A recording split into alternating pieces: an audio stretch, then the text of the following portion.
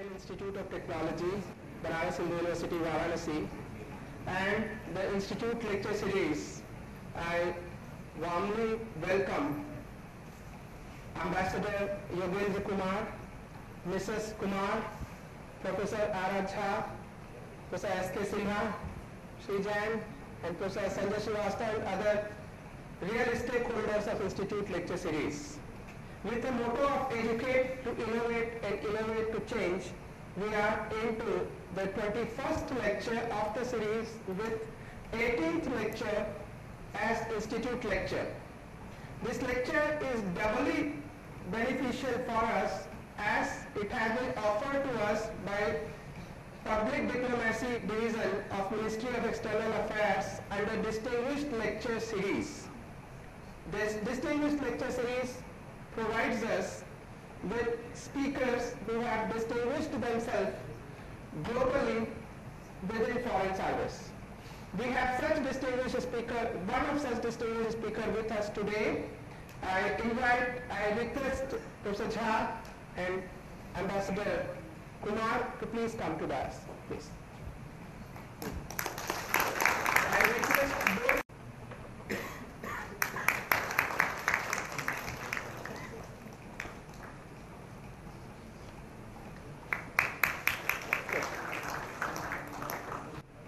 At the time the Indians used to think of humanitarian education, education of humanities, it was Bharat Ratna Mahamana Madan Mohan Malviyaji who thought of introducing engineering education in India.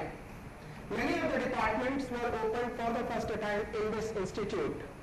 And today we converted into Indian Institute of Technology in 2012, after which we have this series.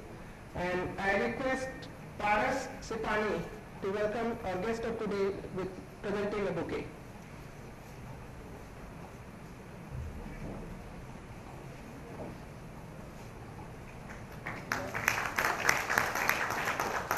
I request to welcome our chair of the lecture, Professor R.R. Jha.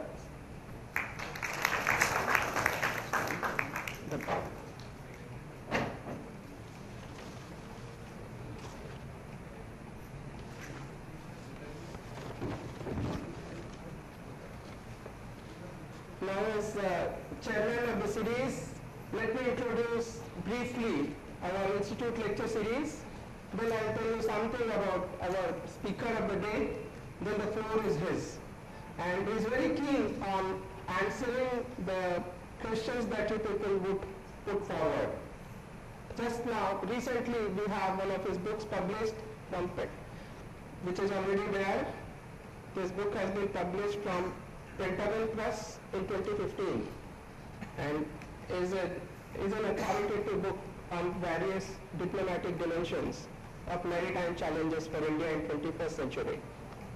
Uh, if you see the entire globe, you will find that China, US, these people are trying to dominate authority over waters globally. And India has to see and put itself or herself in right place to at least counter that. Otherwise, it may be too late. What all needs to be done will be told by Ambassador Kumar, and I'm really keen to listen in. I'll just introduce uh, this series, the Institute Lecture Series was uh, established primarily with an aim to inform and educate our students and institute fraternity by knowledge of and experience of people from various walks of life. And we do not have any restriction regarding inviting our speakers. We, if you see our, uh, we have, this is 18th Institute lecture, and just name few of them for your information. First speaker of the series was Jal Purush Rajendra Singh. He has been awarded Water Nobel after that. Then we Mora, he was President American Society for Quality. He was chemical engineer by training. Then we had Narayan Desai, again from NGO, Padma Shri Narayan Desai. Then Professor S.P. Sukhatme, he was former director of IIT Bombay, later chairman AERB. Then we have the uh, Ambassador Rajiv Bhatia was the first to speak on this combination of BLS plus ILS. So then uh, we had Professor Dharmapuri Vidyasagar, he was a neonatologist. Then Michel Danino, who was Indologist. Keshav Panda, the CEO of L&T Technology Services. Professor David Bell, who was Professor of Marketing from Wharton. Ambassador B.S. Prakash, he talked on facets of power and terrorism, definition of terrorism, again from BLS-ILS combination. Dr. Sanjay Srivastava is lead environmentalist of World Bank. Professor Rajiv Sangal, Honorable Director, he talked on, he is an authority on Paninian grammar and human values. He talked on mind, brain, human mind, brain and computers. And we also had two non-institute speakers. Then today we have Ambassador Yogen Kumar to put another feather on our cap through his lecture. I'll now introduce our speaker of today, Ambassador Yogen Kumar joined Indian Foreign Service in 1977 and retired after an illustrious career of 35 years in the rank of Secretary to the Government of India, which is also considered as Vice Minister, equivalent to Vice Minister. During his long career, he served in European Union, in England, Tajikistan, Namibia, USSR, Pakistan, Belgium, Luxembourg, Brussels, and Philippines. As additional secretary, he handled multilateral economic relations of, under Military, Ministry of External Affairs, New Delhi, where he dealt with ASEAN, BIMSTEC, EAS, IOR, etc. He then served as an ambassador of India to the Philippines with concurrent accreditation to Palau, Federated States of Micronesia and Marshall Islands. He has also been secretary Association of Indian Diplomats representing exclusively retired Indian ambassadors until recently. There the retirement age is much less.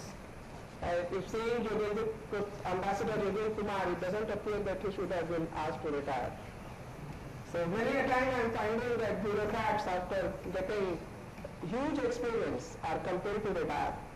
Retirement should not be attached to age. उनको देख के ऐसा लग रहा है Now apart from book reviews, he has published articles on diverse subjects for professional journals and books.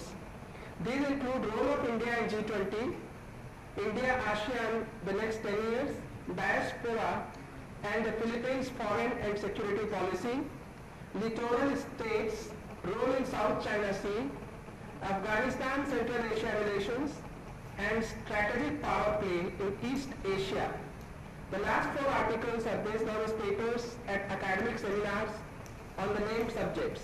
His book on diplomatic dimension of maritime challenges for India in the 21st century has been published by the Pentagon Press in 2015. His Twitter, and this is for you people, his Twitter handle is hash yogi14252 and he can be contacted by email on kumaryogen90681 at gmail.com. All the IIT students and faculty members have this information. So after this lecture, it's just the beginning of the relationship. You can be in touch and get more informed in day-to-day works. Thank you very much, sir. And now I request Ambassador Yogen Kumar to deliver his institute lecture of the day.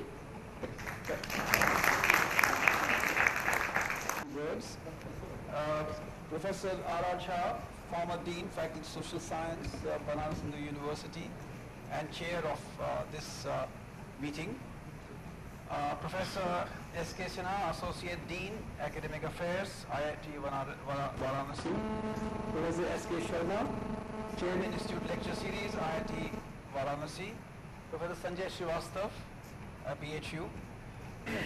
I'd like to I'd like to thank IIT Varanasi and the Ministry of External Affairs for according me the honor to deliver this talk under the Letters Distinguished Lecture Series. It is? No, okay. I'm delighted to be in this ancient river city of Varanasi. Through the millennia, it has been the intellectual capital of India and an intellectual, philosophical lodestar for millions of people throughout this world, throughout the world. The saints and scholars of the city have defined the content of Indian civilization and its tolerant, inclusive and pluralistic values. I do hope that my talk today will resonate with these values. Uh, India's maritime journey is as old as its history itself and is being relooked today from the 21st century's lenses. Yet it is part of the country's historical and historic quest for its progress consonant with its civilizational values. Its maritime quote-unquote blindness coincides with the period of its colonial thraldom and the loss of its technological, intellectual and civilizational capacities with its maritime activity being reduced to the cottage industry of primitive fishing and the Indian Ocean being reduced to British Lake with the British Naval Commander being headquartered in Singapore. The loss of, of control over the sea was seen as the primary cause of British conquest uh, of India. Indian navigation skills, shipbuilding, maritime links through commerce, pilgrimage and conquest led to cross-territorial maritime communities. India, as you know, was called Jambudvipa, the land of the jamun tree in the Mahabharata and the Ashokan uh, rock edicts. There is existence of self-sustaining Bengal commercial network of the 13th century which is evidence of India's civilization reach in very large part of the world. The nature of security challenges from sea are different from those on land. The latter, that's the challenges from land, they arise from hostile proximate neighborhood situated along unnatural borders, fragile and unstable states, jihadist terrorism, and arrayed professional armies equipped with the most modern weapons of war, and hence they have become the primary focus of uh, security policy. Regaining the maritime eyesight is, on the other hand, a national enterprise comprising management of security threats as well as technological socio-economic progress touching the lives of almost every Indian. Even recent history, post-1947, the national leadership was always conscious of the national security environment being impacted favorably or unfavorably by developments in the Indian Ocean region. For example, we all remember the sailing of the USS Enterprise at the height of the Bangladesh crisis. The geographical expanse of India's maritime challenges has also grown considerably in the last few decades with its growing regional and international profile, expanding economic links and its diaspora. The erstwhile distant problems impact on India's security environment much more directly today for this reason. The salience of maritime challenges has grown particularly after 1991 with the onset of globalization and its concomitant maritime dimension. The world trade is growing faster than world output. Maritime transport handles 78% of global trade by volume and over 70% by value. Share of India shipping tonnage in India's seaborne trade has fallen from 40% late 1980s to approximately 8.5% in fiscal 2008. And when I talk about the maritime challenges, you'll understand that I cover everything in a very holistic and comprehensive manner. In security terms, Indian coastline is around 7,517 kilometers and many islands surrounding the peninsular configuration. India's maritime geographical position is both an advantage and a challenge. Its configuration and the island chains of Andaman and Nicobar and the Lakshadweep and Minicoy give it the platform to dominate the Indian Ocean by projecting its, projecting its naval power. The close proximity of international shipping lanes to India's coasts attracts other powerful countries too to dominate and thus create the potential situation for confrontation with India. These lanes carry commercial ships, naval ships, other undesirable elements like drugs, human traffickers. Shipping along densely populated coast in the Indian Ocean also involves a large number of fishermen's boats, terrorists and other types of smuggling activities. India's own strategic interest make it pay attention to waters beyond its immediate proximity. The latest maritime security strategy of, brought out by the, by the Indian Navy under the auspices of the Ministry of Defense 2015, defines areas of maritime interest as primary, that is coastal areas, islands, exclusive economic zones, the Arabian Sea, Bay of Bengal, Andaman Sea, their littorals, the Persian Gulf, the Gulf of Oman, the Gulf of Aden, Red Sea, various choke points and their littorals, and the sea lanes of communication and energy and resource interest. The secondary areas of maritime interest, as defined by this strategy, cover various seas outside the Indian Ocean region. The maritime challenges multiply depending upon the conditions in the littoral regions. The state failure or fragile of, of, of, state fragility generates own challenges such as piracy, growth of jihadist extremism, military conflict leading to external intervention for manipulation or evacuation of endangered citizens foreign, from foreign countries. And we have examples already from Yemen and Libya, we've done that. But we've done also, we're talking about the airlift. We evacuated uh, thousands of people from Kuwait and Iraq at one time.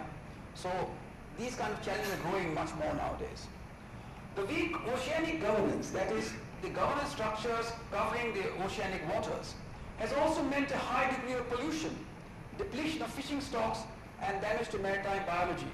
For example, one has read this recently, that there is a garbage, pa garbage patch which is about 5 million square kilometers, which is about, let's say, 30% more than the land mass of India, which is rotating in the Indian Ocean, from the Mozambique Channel going up to Australia and returning. So we can imagine the level of pollution that is already existing in the Indian Ocean, but Indian Ocean is no exception. It's happening to all the oceans of the world.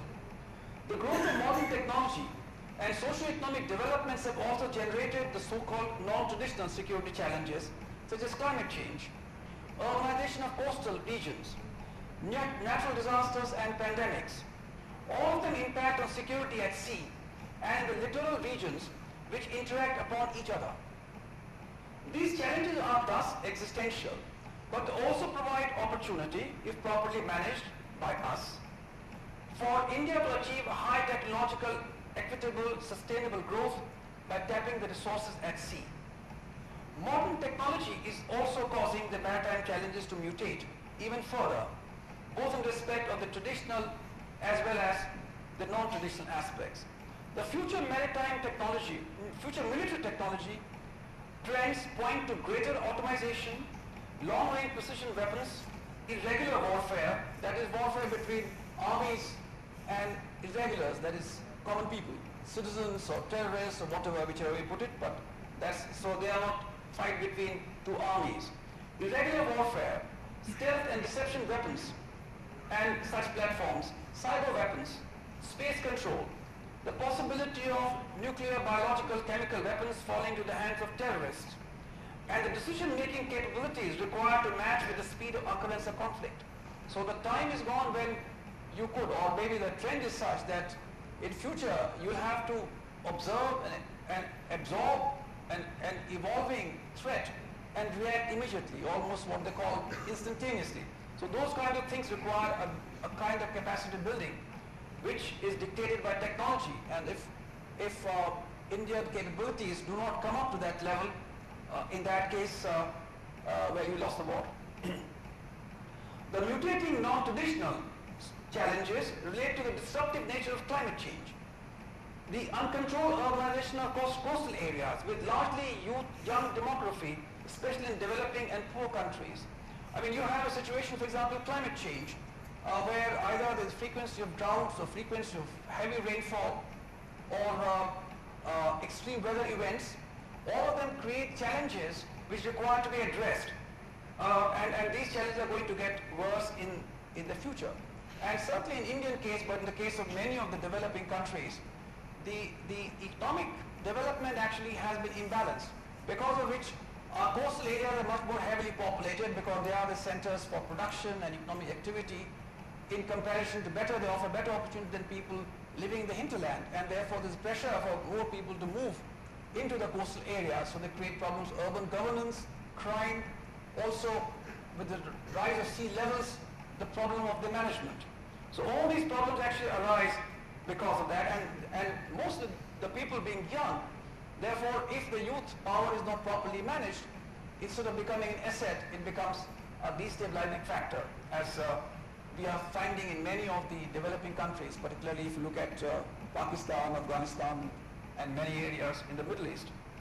Um, the, the disruptive impact of natural disasters and pandemics, for example, the Ebola virus, as we all know, what kind of dislocation caused because of frequency and range of travel. I mean, one outbreak, now we are talking about the Zika virus, because the fact that the world is so interconnected, uh, it's spreading, it originates someplace but spreading elsewhere at a, a rapid speed. The growing number of failed states where the states are collapsing. Afghanistan is a very good example, but we can think of many. Yemen is another example. So we can think of many examples of this kind, and people say, for example, in Pakistan, I mean, parts of Pakistan actually are failed, because, I mean, the, I mean, the proof of that actually is the army is using air power and tanks against one population. You can make out that the governance action has failed there. So in a situation of failed states, the, the ability of the state to respond to disasters actually diminishes. So actually in a way because the interactive nature, the capacity and the, the threat, uh, they actually in a way aggravate the crisis. because as I said, and, and they can create uh, uh, further instability, further fragmentation, further radicalization, so on and forth.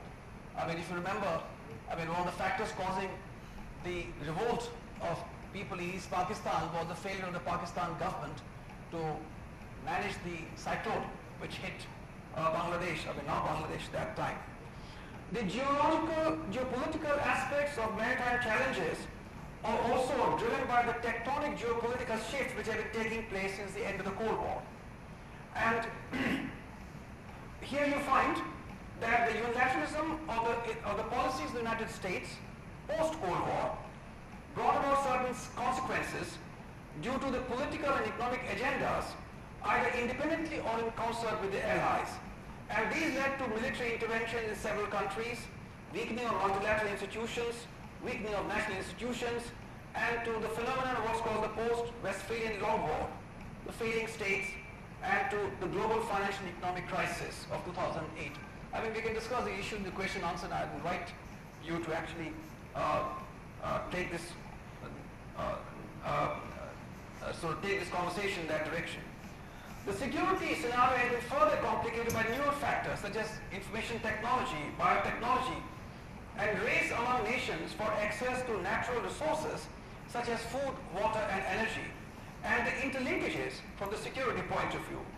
And all of these have made the predictions difficult as uh, uh, I quote uh, in, in my book, of course, but uh, this is a report by the National Intelligence Council, uh, which is uh, a, a, kind of a, a body comprising the various agencies of the United States government. And they actually have stated, they have concluded in the latest report, which actually is published in 2012, and it projects, it, what it does is projects future trends. And it's projecting future trends up to uh, 2030.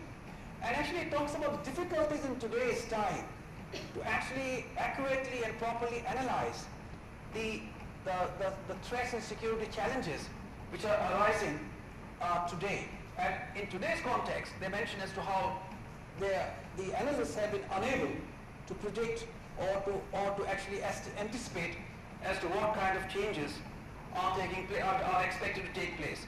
I mean, uh, and, and, particularly it's in terms of the uh, what they call the looming, dis looming disequilibria as to how the state systems become unstable and how they tend to become dysfunctional and even collapse. I mean, for example, if you see the situation in the Middle East today, uh, the, the ISIS, its impact, the failure of, of states like Iraq, of Syria, and, and, and, and so on and so forth. So that actually tells you the kind of trends which are emerging and how difficult these trends, the security, professional security analysts find difficult to analyze. So this actually reflects the conundrum of power transitions. And these are all cases where the power is being sought to be transferred from one, let's say, elite to the next or another one. And I actually discuss in my book as to why in the post-Cold War period, these power transitions are accompanied by so much of bloodletting and such institutional fragility. Uh, instead of, let's say, the non-violent and non-destructive political changes, which India, for example, experienced uh, uh, at the time of independence and which actually gives India institutional, institutional uh, uh, resilience and, and, and flexibility to cope with the changes that are taking place and how India been successful in coping with these changes and many other countries haven't. So that is where you see as to why the conundrum actually becomes much more uh, graphic and much more uh, real and much more worrying and, and, and how uh, this, as I said, contrasts and compares with our own experience. The geopolitical and geoeconomic shift is taking place towards Asia, raising the prospect of conflict due to inadequacy of global institutions which were created in 1945 in a situation of different balance of power. So, you know, 1945, United Nations created, the World Bank was created, the IMF was created, but that reflected different balance of power between countries. Now the balance of power has changed completely, but the same institutions continue in the form in which they were created. So you can understand how inadequate these multilateral institutions are today in handling the challenges and the problems that we face today. And we find that's why both India and China want the institutions to be modified, but they very little success.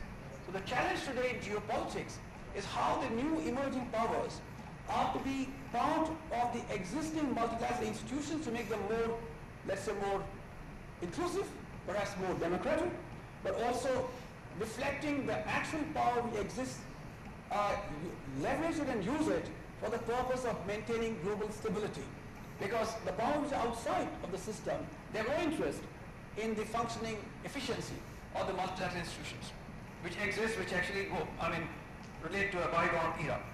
The these geopolitical shifts have led to great power contestation at sea. So there's a maritime aspect generating various maritime flashpoints in different waters, naval rivalries and build-up, and more aggressive war-fighting doctrines.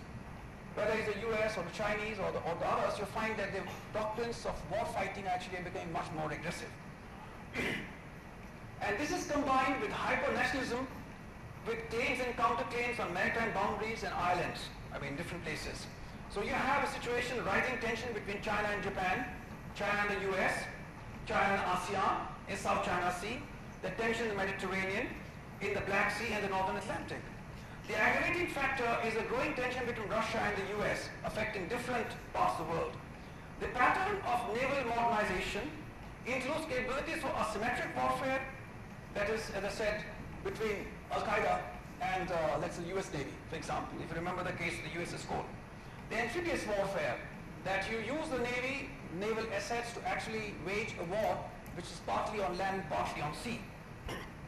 There's pressure on the choke points through which the ships pass.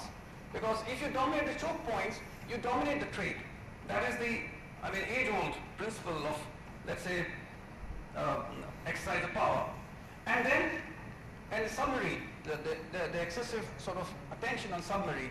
And submarines also are also the, uh, the platform for uh, nuclear strike capability. Indian strategists are naturally paying attention to developments practically in all the waters due to, as I said, India's growing international interest. There are growing concerns regarding the tensions rising in the East China Sea between Japan and China, the South China Sea, again between China, the US, the, uh, the ASEAN countries, and so on and so forth, and the Mediterranean. The Indian Ocean largely remains peaceful, but has an unstable littoral that many countries along the Indian Ocean coastline are actually unstable and fragile. So they are by themselves a threat to the security. And one good example is the Somali piracy, where the Somali piracy actually arose because uh, Somalia, which actually was a playground for superpower rivals during the Cold War, it actually, as I stated, collapsed. And when the Cold War ended, the superpower interest ended in that. And the collapsed state of Somalia uh, foreign fishing trawlers to come into the Somali waters, fishing waters, and most of them are European trawlers. So when they came to the water, the Somali fishermen found that you know their fish was being taken away by people who are better equipped with such uh, better equipped with, with, with their uh, sort of uh, fish catching uh, sort of uh, equipment, and they started fighting back. And when started fighting back, that is the original Somali piracy. So when the piracy takes place, it takes place because the, the coastal areas become unstable. And, and, and that's really and then that shows the shows the shows the linkage. So so there is this so and, and you find on the as far as Indian Ocean concerned the northern periphery, whether it's the Persian Gulf region, the tension between Iran and Saudi Arabia, or uh, you have the Gulf of Aden where you have Yemen and you have again the overflow of the, the Iraq crisis. So what you find is that in the northern areas of the Indian Ocean, you find that there is either a conflict or near conflict situation. But the rest of the Indian Ocean, the waters are largely peaceful. I mean, that's important to take note of. So one concern is to prevent the tensions in the neighboring waters to spill into the Indian Ocean. For example, South China Sea, the tensions spill over the Indian Ocean, then the India gets caught directly in it. Uh, this also concerns the growing area of operation of the Chinese Navy coming to the Indian Ocean. So we, if you read some literature at this time, they all talk about the Chinese Navy, what its role is and how it's actually coming to the Indian Ocean and how it's going to change the naval balance there. The other aspect, the possibility of a stronger nexus between Pakistan and China, especially with regard to the naval collaboration. Now they have naval collaboration, but China, but Pakistan actually declared that it's going to use the Navy for a second nuclear strike capability. But Pakistan also is a state which has been threatened or which actually in a way is uh, riddled by, by, by terrorism. And uh, it was in 2014 that uh, the Al-Qaeda made an attempt to capture one of the Pakistan naval ships outside Karachi, Al-Zulfikar. And the attempt actually uh, was foiled because the Pakistan Navy officers who were on board, actually it was a, it was a conspiracy between Al-Qaeda and some naval officers who actually sympathy with Al-Qaeda. So Al-Qaeda penetrated the Pakistan Navy. But because many other Pakistan Navy officers on board the ship, they actually resisted and they overpowered these, these, uh, uh, these Al-Qaeda sympathizers amongst them, that the ship actually was prevented from falling into hands of Al-Qaeda. But just imagine, if such a ship carrying nuclear weapons, it fall in the hands of Al-Qaeda, what would happen? So the, the threats, to all these aspects actually are a major challenge as far as Indian security uh, sort of uh, planners are concerned. then actually very briefly, I can say there are several maritime agencies involved in addressing India's maritime challenges. Uh, Indian Navy, of course, is critical in shaping the strategic environment. It aims to be the net security provider in the maritime neighborhood, including deployment for uh, uh, anti-piracy, maritime security, for humanitarian relief operations, by leveraging its capabilities as well as naval diplomacy with countries and the region beyond. So it's actually building up this kind of an environment which is actually favorable for us. It is a shaper of the strategic environment and it's actively building up a second nuclear strike capability which will help achieving stable deterrence vis-à-vis Pakistan and China to ensure that India's nuclear deterrent is at the minimum necessary level. The Coast Guard protects India's exclusive economic zone and India's exclusive economic zone plus the extended economic zone actually covers as large an area as the land mass of India. So you can imagine, I mean, what kind of a challenge it is. So it is protect, protects the exclusive economic zone so that Indian sort of agencies, Indian companies can exploit the maritime resources from and, and it protects it from criminals, pirates, smugglers, poachers, human traffickers, and also foreign subversion. It also carries out rescue missions in India's search and rescue, which is much larger. It aims to develop through onshore and offshore communication network domain awareness about possible anti-Indian and other types of illegal activity. It's also engaged in developing bilateral and multilateral cooperation within the region and outside, including capacity building in friendly countries. The role of the coastal police uh, gained prominence following the Mumbai terror attacks of November 2008. Uh, it confines the activities largely to coastal waters of 25, 24 nautical miles with the help of other agencies uh, like the CIS, SF personnel, coastal, I mean, well, I mean, the, the villagers in, in the various coastal villages. Uh, it has a surveillance network which has the access to data from radar chains, so on and so forth. The maritime shipping and shipbuilding is again critical. The major task of the government actually is to enhance its capacity for Indian commercial shipping as well as infrastructure. This is one of the major programs of the government today, the Sagarmala uh, program.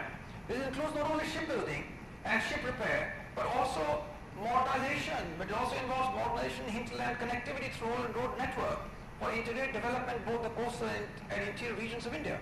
So you can imagine that, I mean, you cannot have good ports if you don't have good uh, connected rail and road network to bring uh, goods into the country and take goods out of the country. So all that, in a way, the capacity for for uh, ship, I mean, uh, in, the, in the shipping sector, this capacity actually is linked to India's economic regeneration, technological growth. And it also aims at developing coastal shipping. I mean, it's not been recognized today that coastal shipping or inland water shipping or inland waterways are the cheapest mode of transport, but actually it's been ignored for a variety of reasons. And now we find that the government's trying to correct this. Now, the Ministry of Earth Sciences which was established 2006 is actually even more critical uh, in terms of India's, as I said, regaining India's maritime eyesight, so to say, is responsible development technology for the exploitation of marine resources, uh, not just fishing, but uh, polymetallic nodules, uh, for example, uh, inventorizing the various resources that we have, hydrocarbons, so on and so forth. Um, uh, also, weather service provides weather service, weather forecasting. It does all the accurate forecasting that is necessary to prevent or to mitigate the effect of disasters. The, the, the, Ministry of Earth Science is actually uh, concerned with that. Climate change and geohazard. I mean, which area of the coastal areas of India are vulnerable to rising sea waters, for example? You know, that kind of a capability, scientific capability, actually, this ministry is developing so that it can minimize the impact, the negative impact of uh, climate change. Uh, as I said, or for example, various island communities, how they are to make economic sustainable. All of that is very much the part of the function of the Ministry of Earth Sciences. The vulnerability mapping all over the country, what kind of, as I said, effect of adverse weather is going to uh, is going to take place. All that it has that, that capability, and also because capability is quite actively engaged in bilateral and multilateral diplomacy within the Indian Ocean region and beyond. They have a lot of collaboration programs with countries littoral and outside. Now, as far as the diplomatic action is concerned, because it's not just the Ministry of External Affairs, but all the agencies are involved in, in, in this kind of diplomacy. And the Indian Maritime Agencies conduct active diplomatic engagement in bilateral and multilateral formats these are both cooperation in the respective functional areas and skill upgradation. These tasks cover national security, stability of regional maritime order, of immediate concern and proactive, comprehensive engagement with littorals to foster regional stability and well-being, holistically addressing the entire range of challenges. For example, Navy is very good for maintaining a certain balance, but the Ministry of Maritime, Ministry of Earth Sciences is very important to develop these capacities uh, in the in the littoral states of Indian Ocean, for example. I mean, building their capacity. So, uh, so for example, whether it's weather forecasting or uh, preparing, developing institutes capacities for them to meet uh, the, uh, let's say, adverse weather events, for example. All these are very important. and uh, if you go as to how various countries cope with the tsunami of 2004, then you'll understand as to how critical this role is as I said that various states, if they have diminished capacities to uh, address such disasters adequately to make, uh, to make sure that uh, they do not cause instability, that's in India's interest. Because if they become much more unstable, we have further problems. So, so all of this basically goes to making a holistic approach as far as India's maritime challenges are concerned, the Prime Minister articulation of India's security and growth for all in, in the region, that is uh, Acronym Sagar of 12 March 2015 in Mauritius, actually highlights both the security framework for the Indian Ocean as well as regional integration. So that's where the Maritime Agency is extremely important because uh, he brings out all this and the emphasis is on what he called the ocean economy, which is premised on the recognition that uh, ocean economy again is ocean-based uh, economic growth and uh, again various aspects of that. So, and, then it brings up as to how the various extra-regional countries, the interests are to be sort of accommodated uh, through a climate of trust and transparency, respect for international maritime rules, and peaceful resolution of maritime issues. For analysts, non-destructive entry of Chinese Navy into the Indian Ocean region remains a strategic challenge. And then, of course, uh, we all know about the United Nations Convention for the Laws of Sea, and that does provide a workable framework in which these maritime situation can be prevented from getting unstable. There's also the need that, you know, when we do that, we develop a discourse where certain issues that I mentioned about uh, choke points or uh, port calls by various naval ships, what could be the ground rules so that they do not cause tension in the area. So India's diplomatic response has been to leverage all its maritime agencies in bilateral diplomacy as well as in multilateral diplomacy as it helps shape and strengthen the various governance mechanisms of various different water bodies. Indian, Indian bilateral diplomatic engagement involving the various maritime agencies aims at enhanced maritime domain awareness and security cooperation, help create a conducive maritime order, capacity building and sharing information. And this is fairly advanced as regards the Indian Ocean region. At the multilateral level, India has cooperated well in anti-piracy operations. It's played a key role in the Indian Ocean Rim Association. That's a body which has created uh, in the middle 1990s to, uh, uh, for promoting regional integration of the Indian Ocean region.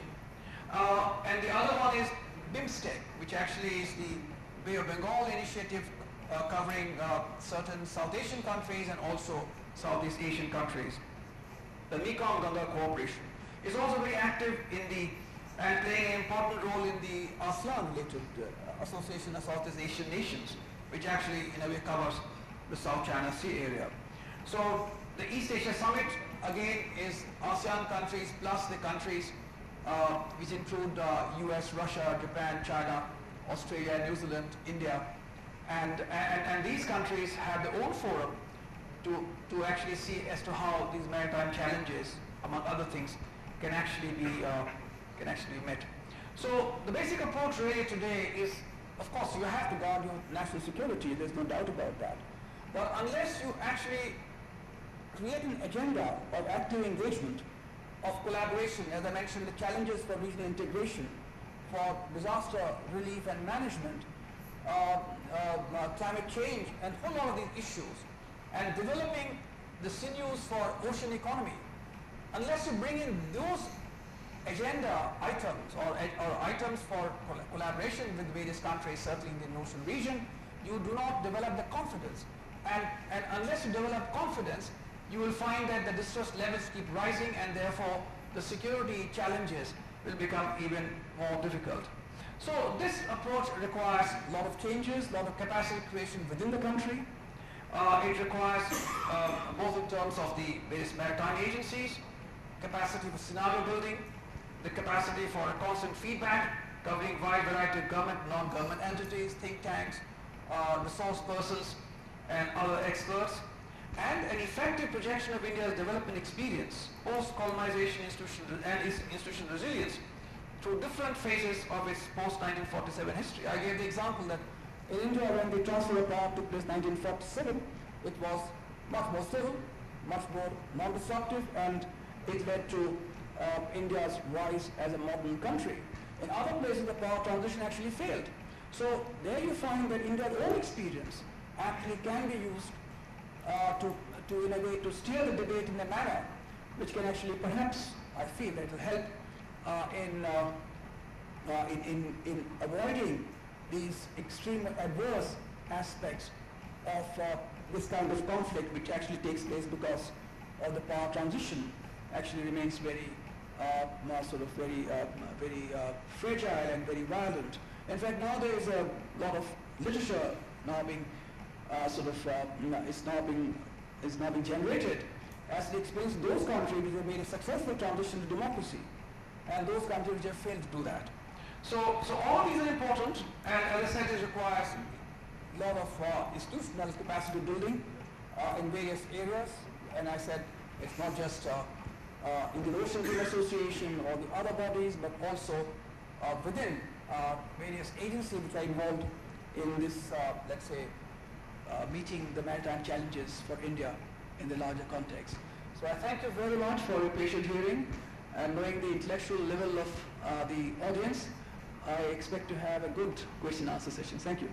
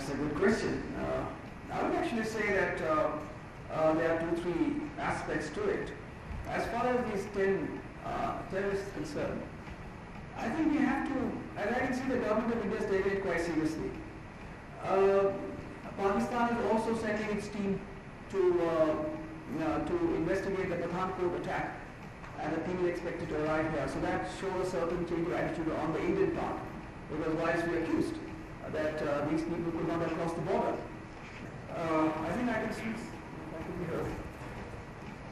Yeah. So, uh, so, so in one way, it's also there's a non bit of change actually on the Indian government side. Because uh, uh, whilst we accused, I mean, after all, this has been uh, stated that these terrorists uh, who attacked Pathankot could not have come into the country uh, without the complicity of the security agencies of Pakistan, without they crossed the border. Uh, at the same time, we are also uh, so them in a way or inviting them to engage in tackling terror. Because if you remember what the National Security Advisors for Doha meeting which took place between the two prime ministers, they said terrorism is one issue that be addressed.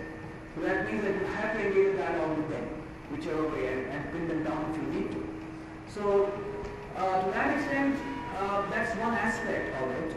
And uh, perhaps uh, you could say that uh, it is felt that uh, that um, uh, that uh, you know the dialogue process has to somehow be taken forward, and um, in that uh, when uh, External Affairs Minister went to Islamabad at that time, she announced that we have the comprehensive dialogue process restarted.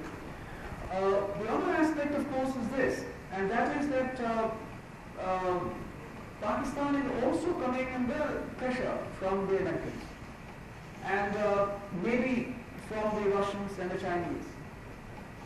Um, because uh, for a variety of reasons, but certainly from the Americans, because that is one way in which the, they can see that the domestic opposition to Pakistan within the US will diminish if it is shown that Pakistan is, uh, let's say, playing ball as far as India's complaint of cross-border terrorism is concerned. So that is clearly one aspect. Uh, what is the worth of it? That is something we have to. So I can remove this or is you know, it's in.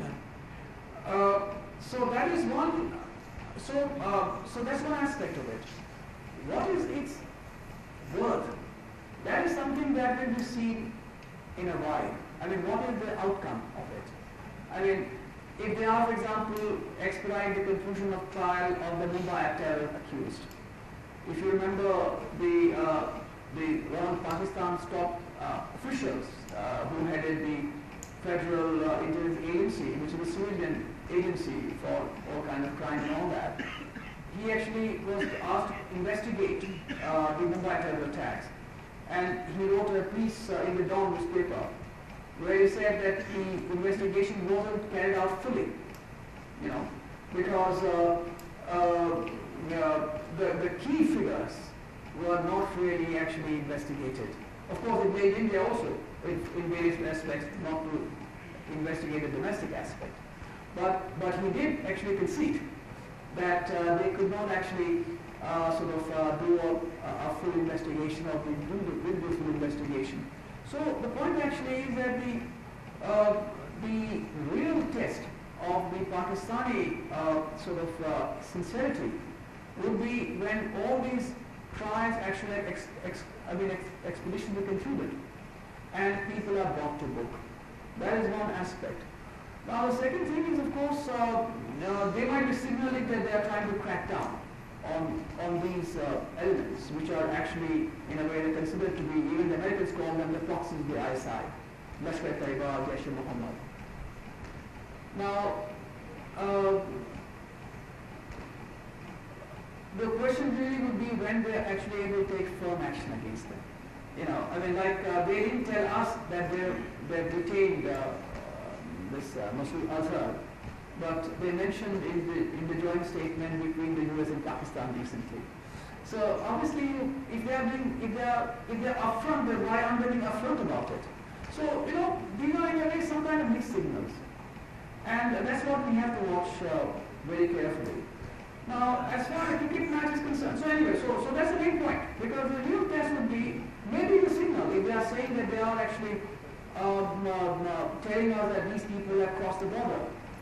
Well, the question actually is that if they knew they crossed the border, why didn't they catch them before they crossed the border? Right? I mean, that's how I look at it. But maybe they couldn't and they ticked off the Indian side and Indian side looking at it. But uh, unless we do find that these kind of activities uh, sort of, uh, let us say, a brought to an end, uh, I think uh, only then perhaps we will really see how sincere Pakistan is. Uh, it had a similar problem with Afghanistan, similar problem with Afghanistan, because uh, the, the dialogue process that they started with Afghanistan, the Taliban delegation, the head is a kind of a, what should I say, uh, the, the head of the Taliban, Taliban actually is somebody who uh, has been in Pakistan, so in Pakistan's, uh, let us say, um, uh, what should I say, uh, I mean, basically Pakistani hands from the very beginning. And then the number two belongs to the, this uh, Haqqani group. The, the ideological, the head of, of, of the Taliban, the current Taliban after Mullah Ahmad's death, he is again somebody who is ideological mentor of the Haqqani group. So even so these kind of people if they will negotiate with the Afghan government for political settlement, that is something we have to actually wait and see exactly how it takes place. Then quite apart from the fact that in the history of Afghanistan, none of these so-called proxies, when, when the time has come for that, have actually followed what the mentors have said. Whether the Soviets or the Americans or the ISI, all the stages that you see. So that they can control is another matter. So we have to see all that. But the point still is that between the Afghanistani and the Pakistani government, there is a considerable degree of distrust. And uh, the Pakistanis accuse the Afghans of keeping their bad elements on their side, and the Afghans accuse the Pakistanis. So the point actually in that sense is that everybody is really waiting to what extent Pakistan's turned a new page. Uh, they are now getting more actively involved, the military is getting actively involved, the, the General Shahid Sharif is now leading the Afghanistan diplomacy, he's meeting the, uh, the Afghan uh, president and they've involved these talks. Uh, he has been interacting with the US leadership, including last time we went him and the vice president. So the point actually that why these kind of things have been given to Pakistanis. But I mean, number one, how sincere they are. Because ultimately it is, it is a domestic uh, transformation in Pakistan. It is nothing more than that. It has a domestic transformation. So that is basically what people are waiting and watching. Otherwise, uh, these stimulus are being given and people are responding to them and hoping perhaps to some extent to stabilize the situation. But there's something we have to wait and watch. On the security of the cricket uh, team, as far as that is concerned, well, there of games uh, they keep playing because we don't play in Pakistan because uh, of the fact that there, you know, there have instances of attack, terrorist attack on, other teams playing in Pakistan. So, um, yeah, so you know, they're trying to say, well, you are no better, that sort of thing. But we have to wait and see really how it goes. A of it is, as I said, I mean, uh, kind of um, uh, uh, shadow boxing. yes, yeah. Thank you. No. Yes, any other question? Yeah, I think there is a lot to happen to students, yes. Huh? Sir, I'm Govind Gaurav from Department of Political Science. Political science. Yes, sir. Sir, uh, in your words, uh, maritime blindness of India uh, and uh, looking to the uh, Chinese encirclement policy, what would be the best strategy to adopt to counter this? And is it uh, in long-term interest of India to join hands with US and maritime strategies like uh, most debatable uh, joint navy exercises in South China Sea? Very good question. I think, uh, in fact, uh, I, I mean, I've just uh, sort of uh, brought it up in sort of in my, in my talk briefly. But as I said, that as I see the, for us, the window of opportunity really is that because of the fact that Indian Ocean, the maritime order here, the balance of forces, actually today is India's favor. During the Cold War period, it was not India's favor because we were suspicious of the American Navy at that time, if you remember.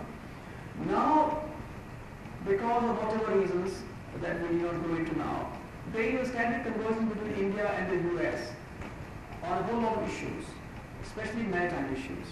So here we find that the current maritime order actually in a way is stable. It is conducive uh, for, from India's point of view, it's actually beneficial to that extent from India's point of view. And, uh, and therefore, if we are careful in how we want to conduct ourselves, we can actually prevent the tensions from South China Sea from spilling over into the ocean. Because again, it's a long thing and we can go into a long discussion on that. But because of the fact that these tensions are growing rapidly, practically every day you find some incident or the other taking place in South China Sea. Uh, between the US Navy and the, and the Chinese Navy, but also the Chinese Navy and the other navies in that area. So because the fact this tension is growing, therefore it's quite likely that they will actually, uh, in a way, spill over on Indian Ocean. Uh, and if we have there, are better off that it's in our interest to see that the maritime order as it is today should not get disrupted which may happen if the Chinese strategic interests in the Indian Ocean are not carefully handled. Let's put it like that. So the first thing is that the Chinese Navy, I mean, all the string of pearls and all that is fine, but the Chinese Navy is not strong as far as Indian, Indian, Indian Ocean is concerned. It's not strong with the Indian Navy, is a fact. And it's certainly even less strong with the US Navy. So my point is that the Chinese Navy is positioned to alter the balance of force in the Indian Ocean actually that capacity is still limited today. So that is, as I said, an advantage for us and opening for us. That's what we need to keep in mind. All the other things that you mentioned, yes, uh, the string of pearls and all been talked about. Of pearls, that, that's why I said that if you generate a study discourse as to how Indian Ocean, uh, let's say the external navies are going to use the ports in the Indian Ocean, what kind of, like example, the safety of navigation routes, safety of navigation through these choke points, that's something of interest to everybody, to the Chinese because they get their oil they get their other minerals from Africa and elsewhere through these choke points.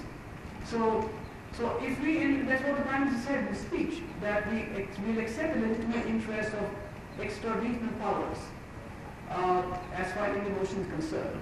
But we can build a structure which is such, which is said based on transparency and mutual trust. And that's something handled by the Indian Ocean countries themselves. All the countries which actually are present in the Ocean, which are, of course, the US is present there, the French, and so are the British. But because of the fact that they have some of their uh, sort of, uh, say, dominion, so to say. So the point actually is that uh, uh because uh, of the fact that there is no opportunity where we can do that, I think we should take advantage of that. And one way clearly is that uh, the Indian Ocean Rim Association, again, China our partner. So if we upgrade, let's say, the level of dialogue Indian Ocean Rim Association, getting all the countries with legitimate interest, you know, be involved with uh, in this dialogue, then you can manage the situation. Then we have what's called the Indian Ocean Naval Symposium, where again China dialogue partner. So again, if you actually do a better linkage between the Indian Ocean, Ocean Naval Symposium and Indian Ocean Naval Association, in that case, you can actually address both the maritime security aspects as well as the ocean economic collaboration, disaster uh, response, all those capacities that we're talking about, we can address that. And thereby, we can actually, as a prevent the situation from getting worse. And and it can possibly even have a better effect on other disturbed waters because we develop the ground rules and the ground rules people can say, well, we can use them elsewhere also. So that is how I look at it. On the exercises, as far as I'm concerned, uh, the Chinese have worried no doubt about it. So that's something we take note of. Uh, and with China, we had a complicated relationship, that's also a fact. But we also have a growing relationship with them. So when we actually, let us say, um, practice our diplomacy, so to say, whether naval diplomacy or whatever, we have to take into account the overall context of our relationship. And in that context, we have to see as to how we can manage these kind of situations in such a way that uh, the overall relationship also doesn't get thrown off balance, so to say. Because all relationships are bilateral ultimately, nothing multilateral. Whether U.S. is uh, doing something in a region, it's always looking as to what the impact is on the particular country that they have in mind. So whether it's U.S.-China or uh, U.S.-India or India-China or India-Pakistan or China-Pakistan, all in a bilateral relationships ultimately. So, so the issue actually is that uh, U.S. may won't do that for own reasons. But we have to see to what extent, as rightly mentioned, to what extent we should actually uh, accept those reasons, or we have our own doing it. So, so long we're clear about those aspects of any decision, I think our decision will be correct. And that's how I look at it. Yes. And it's true, I think uh, maritime cooperation with the US is going very well. I think it's in our bilateral interest. It has a good impact on the regional uh, stability and equilibrium. So the zoning, I think, is, is going very well. Or specific, you know, steps that, you know, we suggested, that's where we actually have to see how it fits into a larger strategic interest. Yes. Ah, okay. one, last. No, no, no, no, let people ask questions. Go ahead, ask. Good evening, sir. Last one. Uh, Okay, at the center in the back, if you don't mind. Yes, yes.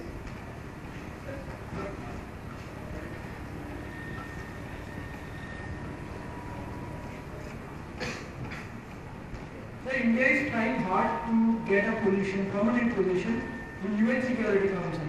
How can it get it? Uh, basically, there are five countries. Out of them, three are strongly opposing, and one of them, Russia, which is a long-term ally of ours. So how can we get them on our side? Specifically, China is strongly opposing that move. So, Yes, that's a good question. Uh, let me answer that. I think uh, the United Nations reforms are a very uh, sort of uh, difficult process. And uh, particularly with the end of the Cold War, when the War rivalry ended, uh, the United Nations recognized that the geopolitical circumstances have changed and the UN must reform as well. But initially, it was, as I said, the, the pure, sheer domination of the United States, uh, which actually looked at the world in a very different way at that time. But as I was quoting from my, uh, from this book, the report that I was, that, that the U.S. influence actually is declining. Since let's say 1991 when the Soviet disappeared completely and the U.S. was the only superpower at that time. Uh, since that time, this, the U.S. powers have declined. Influence also declined quite considerably for variety reasons, including the fact that technologically and economically, let's say China has emerged. India is, well, India is not in league with China, but certainly is, is also growing very well and is an international factor in many respects. So it's, it's emerged. Then African countries are also becoming quite important because of the fact that, you know, large economy the, and uh, large populations. Latin American countries become quite important. Eastern European countries become important because there are new players which are emerging, so to say, on the international scene or international stage. So at that time, there was uh, sort of the studies done as to how the United Nations can be reformed, particularly when the UN Security Council. But ultimately, you're right, because of the fact that the, the, the, the static interests are quite entrenched on the permanent members. Therefore, you know, the reforms actually have not led anywhere. So it is actually a complicated process. But there are several factors. I mean, the point is that if the United Nations becomes, let us say, uh, ineffective, and if you're sitting there on the high table, you're sitting in the high, on the high table of an organization which wields influence and power, what use is it sitting on that table? You know, as simple as that. When the uh, Global Economic and Finance Crisis place 2008, in fact I quote that in my book, the, uh, the IMF failed to predict it. And the, and the Inspector General of IMF wrote the report as to why they failed to predict it, they admitted their failure of thinking. So the point actually is that when the institution is becoming, let us say, uh, losing the influence, then either they change or other organizations become stronger. I mean the G8 or G7 would be stronger than the IMF, for example, or G20 would be stronger than the IMF. You know, so so so because ultimately the power is exercised by whoever it is, and institutions basically are means to exercise that power in a more structured and systematic way. So if that doesn't happen, in that case, it's chaos. That's the point. So it is actually a long, long process. But as you know, the Prime Minister went to the UN General Assembly uh, last year, where they adopted a framework for negotiations.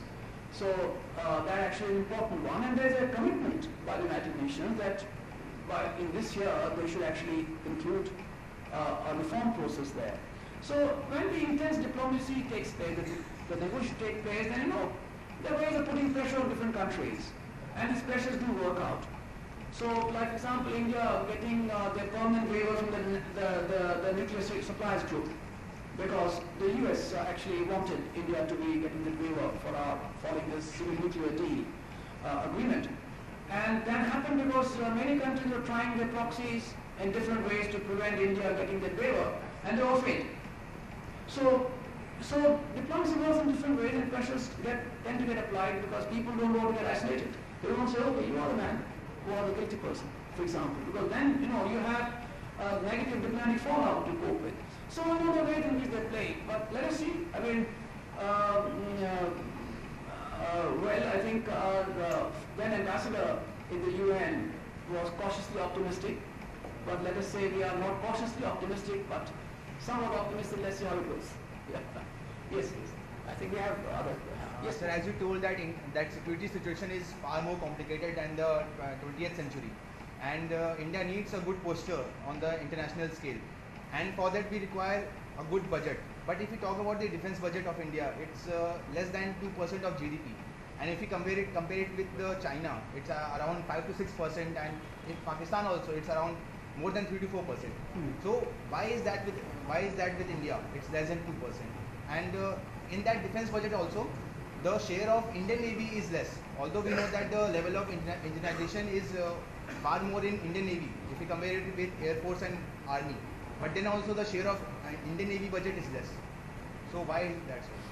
I think uh, uh, I it's a good question. Uh, basically, the issue really is that when you talk about security challenges, you have to define the challenges, and then you have to prepare an adequate response. And uh, here you cannot do on some kind of approximation basis. You identify a specific challenge, and then you say this is how we're going to meet that challenge. So security is very important. Like uh, nuclear deterrent is very important because the Navy is, uh, I mean, ultimately, or will be the wielder of our second nuclear strike capability. And why is that important?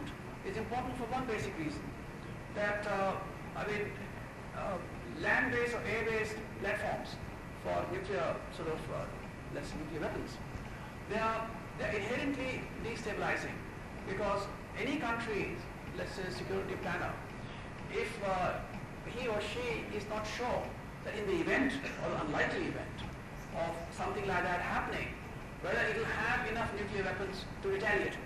Because if that is understood by the opponent, that there will always be enough nuclear weapons available to, if, to inflict an unacceptable damage to an adversary, then the deterrence actually works. That's how the stability comes in. So the safest actually is a submarine-based platform because you know it's not easy to detect. Um, you know when you, you may know where the air base is, you may know and so on and so forth. But uh, but sea-based deterrent is very difficult if it's under it's underwater, a submarine sort of platform. So so that is why it's important. So Navy actually has important role to play, no doubt about it. But how much money it should get, so they draw up their perspective plan, how much the requirements are, and you work on that basis.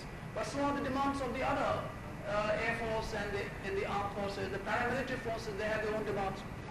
Development demands are also high. I mean, for example, climate change, uh, uh, you know, India's expenditure on climate change adaptation mitigation is as much as our defense budget. So you can imagine what a drain on resources is. So if you develop capabilities to effectively counter the negative effect of climate change, that's also managing security well. If you if you empower or equip uh, better, let's say the Ministry of Earth Sciences, who can do better sort of uh, uh, climate change mapping, so to say, you know, various areas. Or for example, uh, let us say, uh, uh, you know, our Agricultural Research Institute, who will grow, let's say, who develop seeds which can grow in saline water, for example. You know, they're developing these kind of things. So if you give them more money for that, you are generating security for yourself. So security in a holistic sense comprises all the agencies that you can think of, the entire government of India. Uh, not just the government of India, all research agencies. Um, you know, so they're all involved in that. So it has to be a balance in that sense. And I think the problem would be that if you think purely in terms of hard security value, it's necessary. But if you overemphasize it, in that case, that then becomes a destabilizing factor. I mean, for example, in the case of Pakistan, why is Pakistan not growing well? Because I think about 35% of the budget actually goes into, taken up by the army. So there is very little money left for other kind of development. So that itself causes all the instability and that sort of thing happen. So you know, that's why security today, that, that's why I talked about that maritime challenges, basically it's holistic in that sense.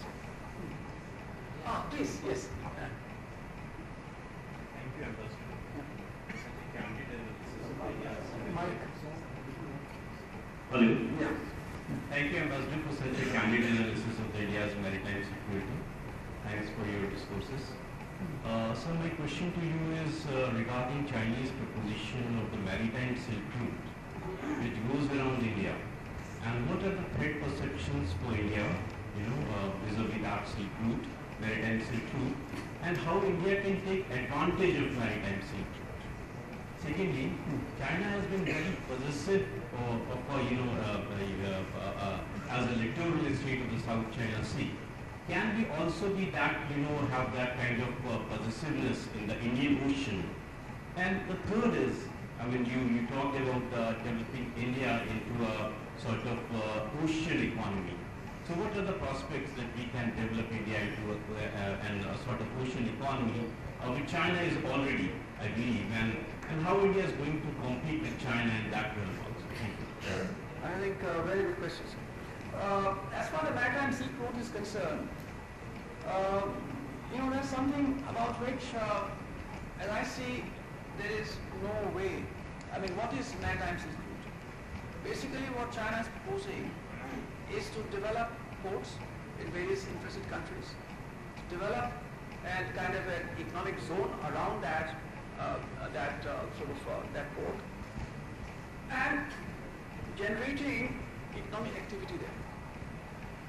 Now, and, and of course, they are selecting it, they are doing it in a selective manner, different countries, they think are important strategically, they are sort of cultivating them and actually creating, I mean, planning to create those assets there. Now the question is, what can India do about it? I mean, if Indonesia says, okay, certain areas China will develop, is there something we can do about it? I doubt. Uh, Sri Lanka, for example, Hambantota port, which actually was, uh, it India first. That would you like to do it? And we did not have the resources. The Chinese have come in there. Now, the point is basically twofold. One is, look at it from strategic point of view. As I said, you may do that, but if you do not have the power projection capacity to, to see that they are protected from, let's say, hostile intervention, then they are, they are, I mean, they don't have strategic value. For example, the Indian Navy can go and bomb Gwadar, for example. What strategic value is it for China? As an example. Or they can bomb Hambantota in case Chinese ships make it into a, into kind of a, let's say naval ships make it into a kind of naval base, as an example. So, the point is that ultimately the issue really is at present Chinese Navy does not have the capacity to project its power in the ocean. It is coming here. Uh, the Navy is coming, its commercial shipping is coming, Chinese traders are coming, Chinese tourists are coming, they're all coming Indian Ocean region as an expanding economy and the country which wants to project its sort of its uh, influence. in different parts of the world. So the point actually is that if today the maritime order in the Ocean is actually in India's favor, we should see what we can do that it should not change in anybody else's favor. So I've actually suggested basically two things. One is that we can still influence how these facilities can be used or will be used.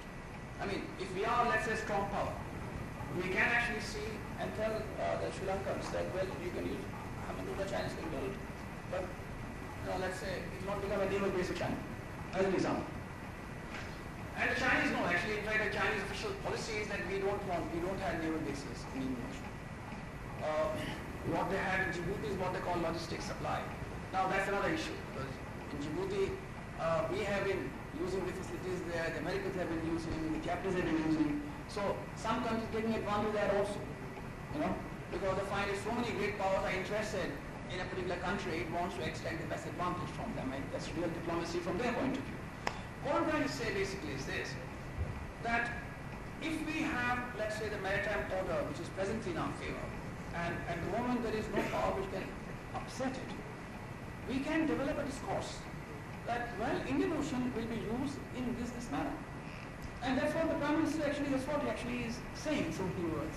That countries can use it. I mean, you can, if you want to build a port, build a port. If you want to build economic cooperation, do that. With that country, nobody's stopping. But it had to be done in a transparent manner. It had done in a manner which actually promotes confidence and does not promote, let's say, distrust. So that is, as far as that is concerned, this is still, I would say, still a long way off. I mean, there's nothing preventing us from, I mean, we're also doing the same thing. We're developing our economic and trade links with many of these countries.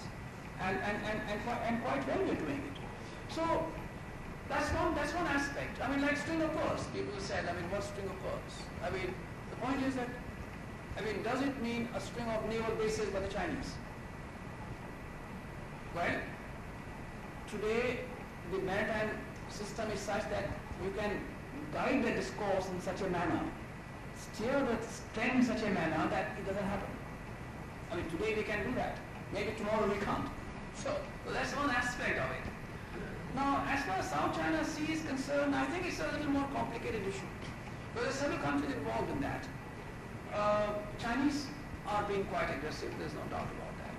Because they are building, of course, the Chinese foreign minister's statement I'm reading today where he said that we are neither the most aggressive in doing it, nor are we the most active in doing it. Other countries are doing it, maybe hinting at Vietnam or hinting at, I don't know, Philippines, whoever. Philippines, of course, we don't have much, uh, I mean, they also have their, their facilities. But, but uh, uh, the, uh, but the point still remains that, you know, there are disputes around the islands. Now, what India is saying basically is that dispute should be resolved in a peaceful manner. Whatever claims and counterclaims you have, resolve in a peaceful manner. The other thing we are saying is that the UN Convention on Law of Sea, actually provides the ground rules as to how we do it. Uh, the Chinese uh, nine dash lines is something which people actually are questioning. They said, please define what is nine dash lines. Where do you draw the line on the water? You know, you can define an island, but define the water.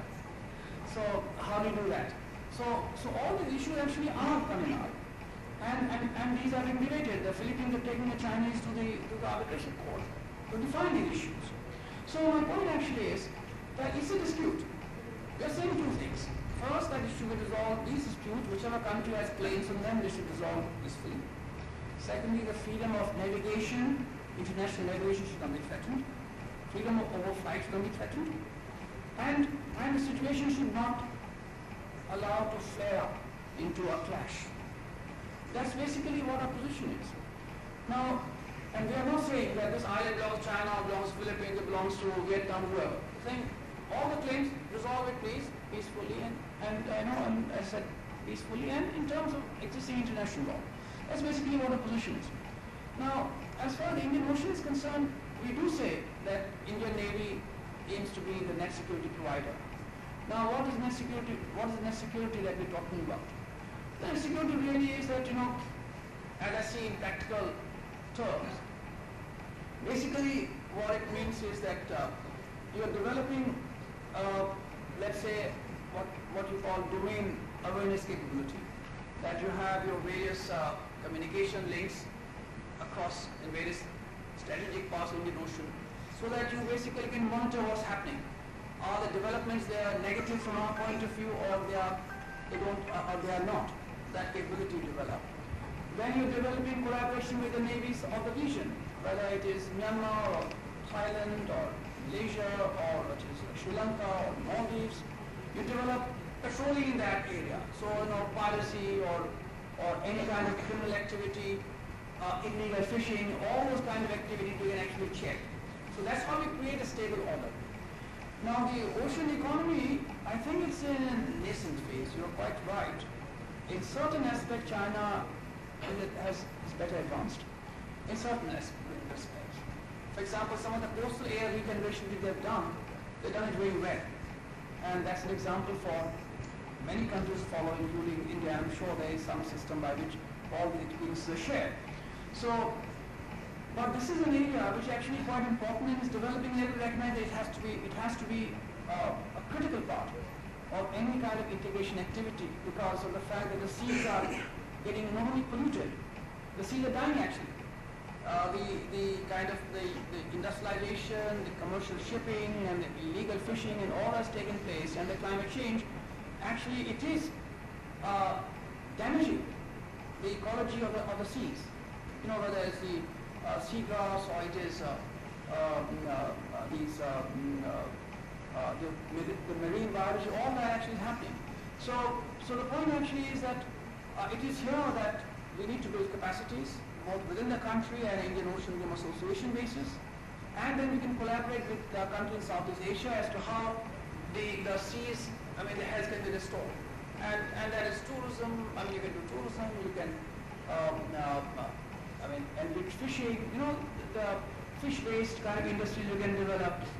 Uh, you can, you can actually uh, see the pollution of, you know, carbon emissions, all of these sort of aspect you can actually, if you pay attention to it, you can restore the health, and therefore you can restore which is the fish of, of the sea which can actually be, as I said, uh, which can be for, uh, you know, I mean, for the countries concerned and for the for the for, for the, the global economy. Oh, yes.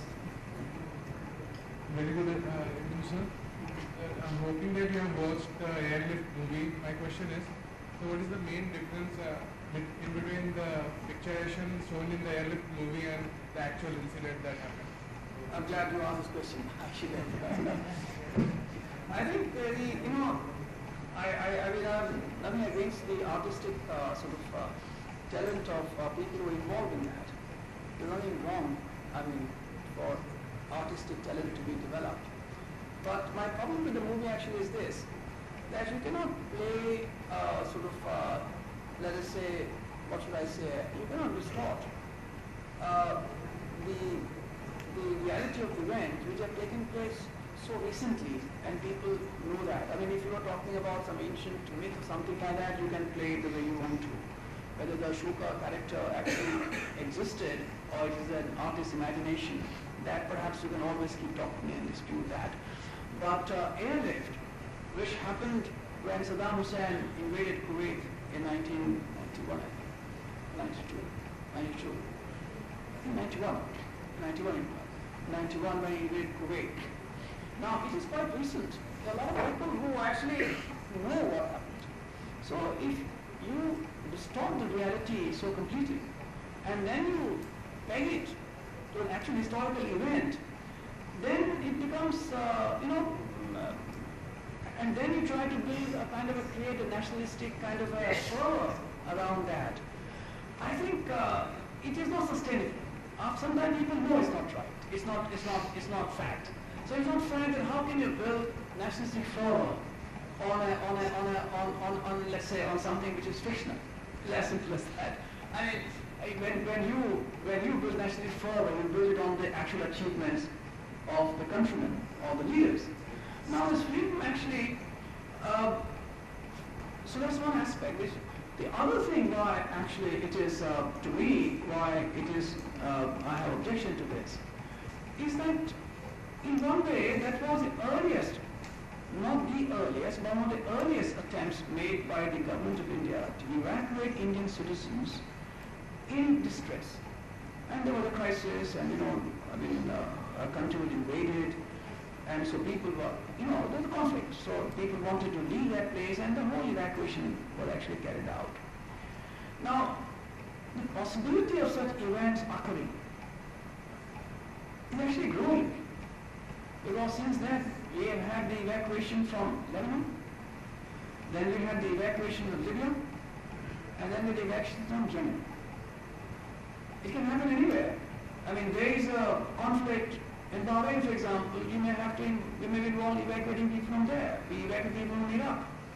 Now, if something which is as real as this, which, and India, actually, a lot of Indians go abroad, they're working abroad and, I mean, educated people of course know how to manage, but there are people who actually are un- uneducated, who have no idea what's happening around them. They actually, their life revolves around the work and their contractor. Now, if, let's say, a public media like a film does not inform in a realistic manner as to what people can do in such situation, actually is, is causing harm to the whole situation. I mean, if you say that the ambassador will not see you, if you say that the consul will not see you, they're the first one to run away, which are doing completely wrong. So in fact, uh, in Delhi, they're having a book discuss, uh, they're having discussions where they're bringing the real ambassador, the real first secretary, the real so-and-so, whoever was the real joint, I don't, joint, and the real joint secretary. They're all coming there and telling exactly what happened.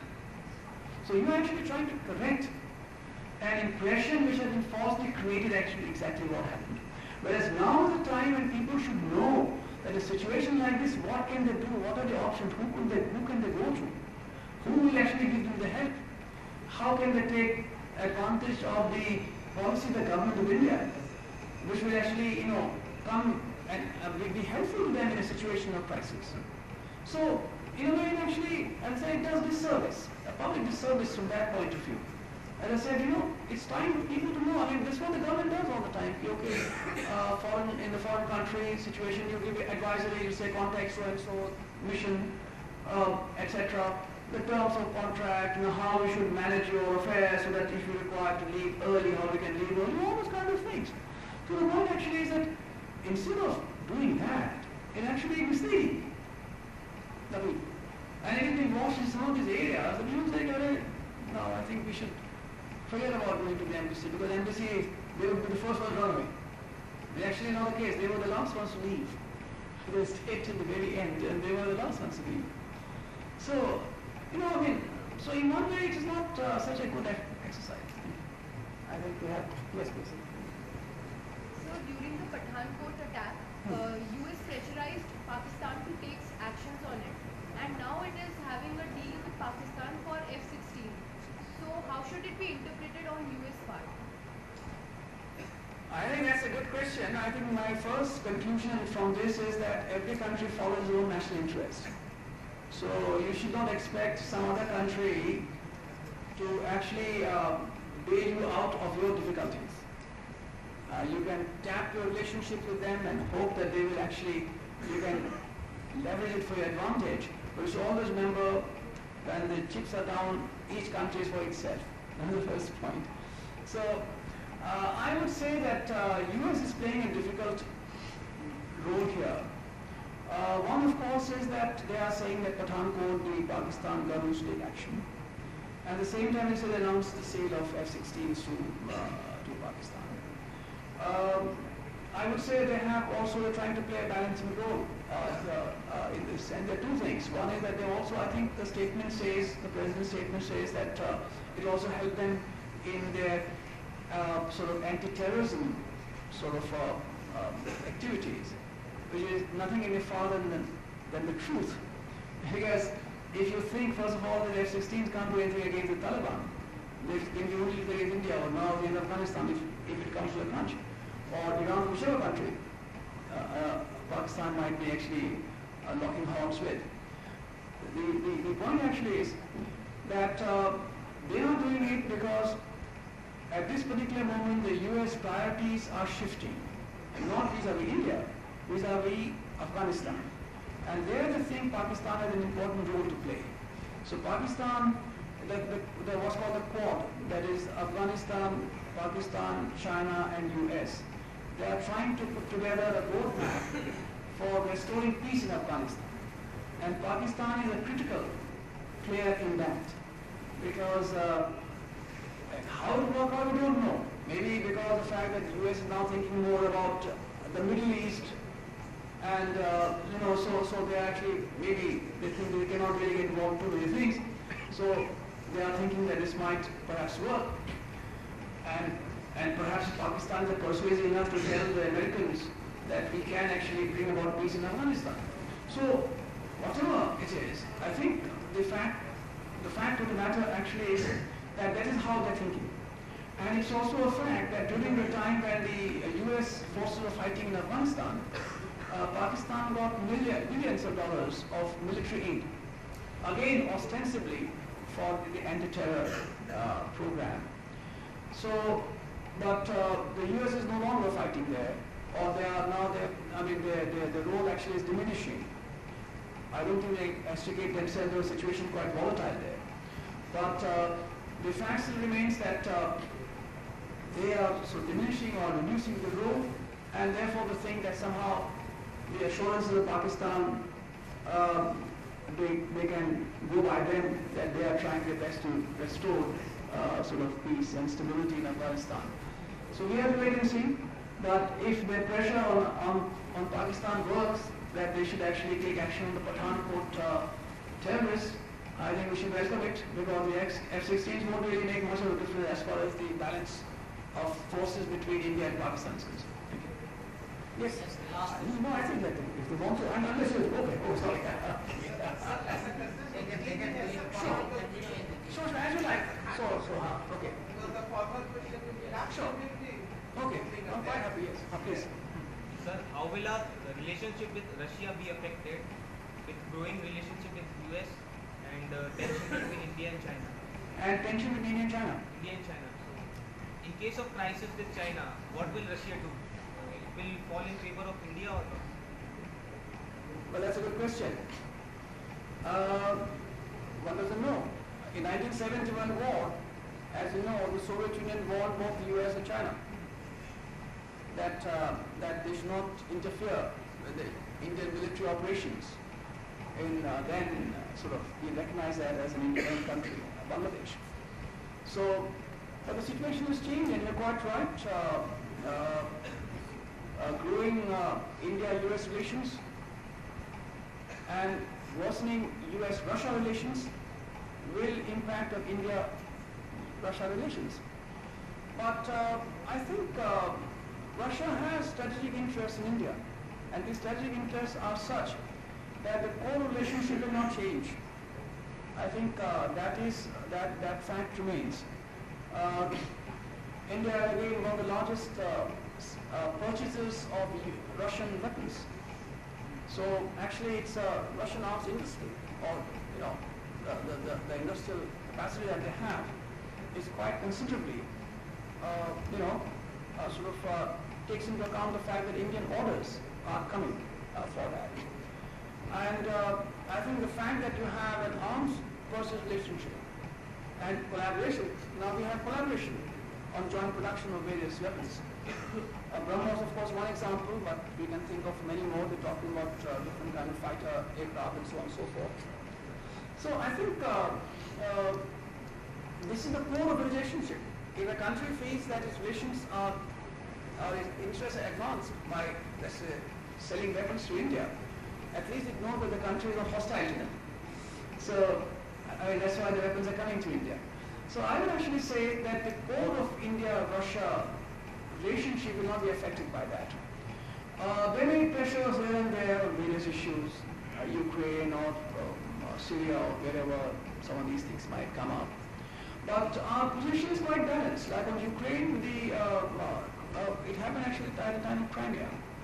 Uh, uh, President Putin appreciated Indian position. He actually mentioned that India actually took a very constructive position on that. So I think uh, some of these issues, the position might vary somewhat, but the but there's the heart, the, the core relationship will not be affected at all. Now, whether uh, there's a crisis between India and China and Russia will move in, that's something we don't know. I mean, this is a too hypothetical uh, situation to think about. Because, uh, in fact, as I mentioned in my book now, the nature of warfare is changing. I mean, you don't have, you know, large-scale military operations anymore. I mean, normally it is a very short kind of a, very short, sharp kind of a standoff, clash, something like that, and then uh, things move in a different way. So I don't think there is a situation of a, I don't think in India any strategic uh, analyst is thinking, at least whatever I have read, that there is going to be major conflict involving India future, let's say for next 10, this 10 years, something like that. So I think, uh, uh, you know, why go into a situation which is so hypothetical that almost to be unrealistic. President of this lecture, Mr. R. Jha, to kindly felicitate the speaker of today with memento.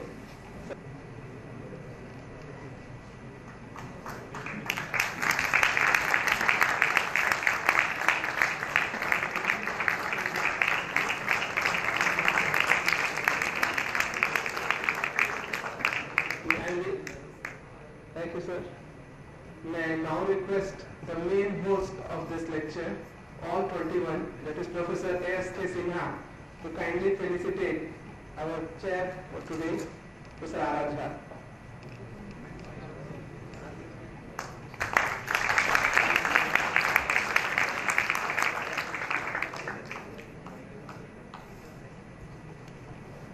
Thank you, sir. And now I request the chair for presidential letters.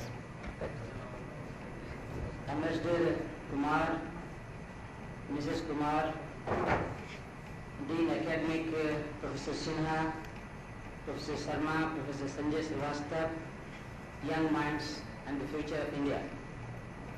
Of course, Professor Jain. Uh, it has been a very fruitful presentation by Ambassador Kumar. He is an authority on maritime uh, diplomacy. As we all know, India has a long maritime boundary. If you simply just inverse the map of India, then you get the maritime boundary and its importance. Just turn the map of India. The north you put in south and south you put in north. You have a different picture of the challenges that India is facing. As Ambassador Kumar has explained to you different dimensions, strategic dimensions and other dimensions which are impinging upon the play of diplomacy by India in international affairs. In fact, the importance of Navy started increasing after 1971 war. If you look at the whole war, one of the most important factors as a result of which India won the war was the bombardment by Indian submarine on Karachi. Of course, it used the and stratagem permitted in international law. But that was the very important factor. And after 1991, and more so after Indo-US nuclear deal, and India has been collaborating closely with uh, US, and India has become very important because of this Indian Ocean and these waters, which uh, Ambassador Kumar has uh, uh, talked about, that India has been giving safe passage to US ships for goods, for oil, natural gas and other things. They are important factors in India's maritime diplomacy. As has been rightly mentioned, that India has been uh, trying to have a multi-pronged uh, strategy. What we can do on our own, how we can have collaborations with other powers, how we can strategically engage our competitors without entering into hot war situations. The problem before Indian Navy and Indian security uh, planners is that day in and day out we find in our Andaman Chinese submarines moving. They are helpless. They are helpless. We are not able to do anything, although it is a serious cause of concern. So, as, uh, as you mentioned that uh, in maritime diplomacy you have to take so many factors. After 1991, we are having different relations with a nation. Even with China, we are at the same time collaborators and competitors. So the whole gamut of international politics had changed recently. So looked from this point of view, India's maritime diplomacy is to engage other powers, is to enhance its capacity, is to institutionalize capacity building within the country and having collaborations outside so that it can play a meaningful role.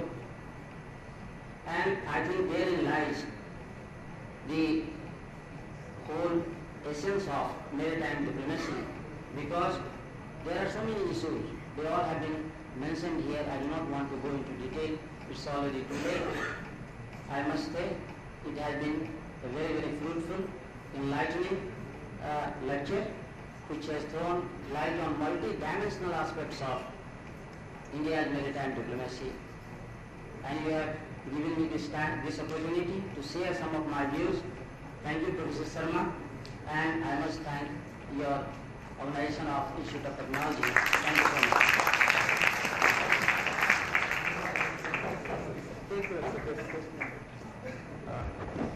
I'll not take much of your time. Haiti is waiting, I know. And after two doyens of uh, diplomacy and maritime diplomacy have spoken, there is no need to make any comment on it. When you see uh, what we actually thought when we launched this institute lecture was to get people of this dimension of experience because those who have been, the depth that uh, Ambassador Yogendra has, the time that we provide them is very small and he is very gentle. We had one speaker, Dr. V.K. Rana. He said, I cannot speak. We said, sir, ILS is for one hour. He said, I don't speak in one hour. I cannot speak. I need at least four hours to say what I have to say. And he did not stop before two hours. And he said, tomorrow you have to give me two more hours. So these people, because they have given whole life to this very small domain which we think is insignificant.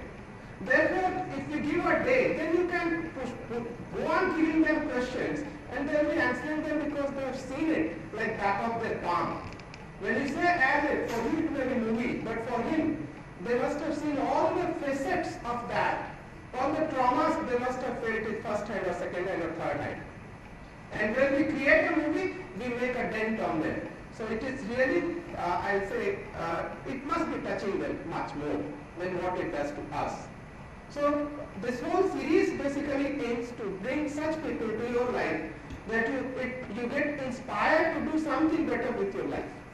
Not necessarily his path. You may take any path. But please do something better with your life. That is the motto with which we are running this series and I am thankful that the lecture has been pretty fruitful and probably some of you might develop an interest into maritime diplomacy and take IFS and serve his cause. I thank Professor Jha, who is uh, one of his own kind. There are very few people now left on campus who can behave with so much propriety and gentleness as him. He has been Dean Faculty of Social Science. Being Dean Faculty of Social Science means many sleepless nights. But throughout his tenure, he has been lucky and he has managed it so, I'll say, gently that he has never left his sleep. And he is very popular dean, he has been uh, and a renowned political scientist. He headed Indo-Canadian Center for Research and you can see again we will invite him sometime more to listen more from him. So with that I thank him also. I thank Professor Sinha who within very short notice, like uh, it's almost just sir कह रहे हैं आजकल का और होता है कि touch करो और भाग जाओ उससे ज़्यादा की ज़रूरत नहीं पड़ती, तो मैं सर को अक्सर कभी 20 घंटे की notice, कभी 10 घंटे की, कभी 6 घंटे की, उसपे भी I get this hall in proper shape and functional, so I'm really thankful to him and his professionalism, backed up by Shailen Upadhyay, my friend, and Jain Saab, Sanjay is my friend and his whole team. They are doing very good work. Sanjay Srivastava works on how effective public diplomacy division's lectures are in communicating what they intend to convey. convey. With that, uh, his team works and they are very effectively monitoring it. So I thank him also. And my chroniclers, basically, snapshots, they take the whole snapshots. Sunil Sinha and his team, TLC, chair TLC, and many other colleagues who are absent here but are making their presence felt with this series. My commandos, Arman, Aditya, Utkarsh, so without them, I would not be able to do anything. I just tell them, send them a message and they deliver. So I thank all these young people. But I'll again thank, जैसे कहते हैं कि behind every success, Madam Kumar who has made from Delhi and taken all pains to do that. And I personally thank के साथ साथ मुझे sorry भी कहना है, क्योंकि हमारे जो पेट्रियार्कल माइंड सेट है, उस पर सर के लिए बुके आए, लेकिन पहले मुझे उनके लिए आना था so I express my heartfelt sorry for not being formally able to welcome you through दुखे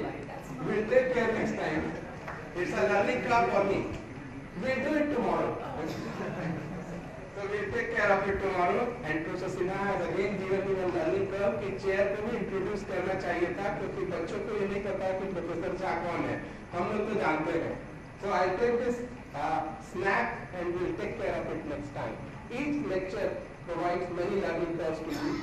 And believe me, if you just join us, we are into a movement and we'll grow up with this institute lecture. With that, I thank each of you and invite you for a cup of tea. All of you are welcome to question him there.